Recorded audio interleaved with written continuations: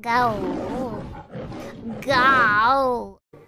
I have a question. Did anyone, any, anybody get uh, fooled for this year's April Fools, or did you not get?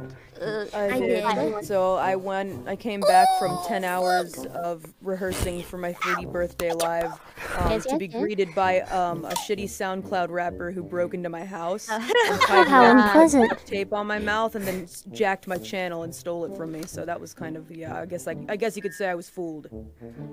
Or are you the fool? Yeah, both both of those things. My uh, manager, they said that they were gonna quit. They said they were gonna turn in their resignation on on Monday, I- and I was I- like, no. I It's because you didn't get paid enough or something. Please spin the wheel, please Uh, spin the wheel. But it turns out they were lying. I would, I would cry if Genma told me she was quitting.